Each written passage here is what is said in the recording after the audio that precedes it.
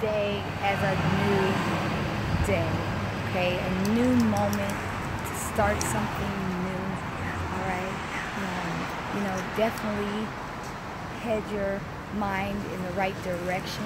That is why I love Monday so much. You know, Monday is one of my favorite days because it definitely gets you into that mindset of, you know, we're starting new, we're starting fresh, you know. So make sure um, you just keep that fresh mindset. Remember, life is what you make it, literally.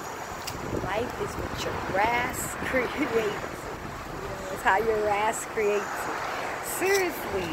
Um, because how we see life, how we feel about life, um, is how life will appear all around us.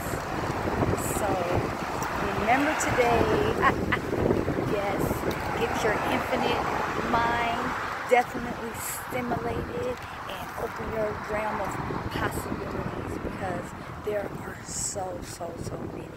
And you know, the more you understand that, the happier your life will be and the more creative you will definitely be every day. Right? So remember you are the creator of your reality and um, you know, never feel like it's too late. Yes, happy moon day, everyone. Get that mindset in the right direction. Hey, and that's straight up to the moon. You already know. High vibes, everybody. Love y'all. Hey.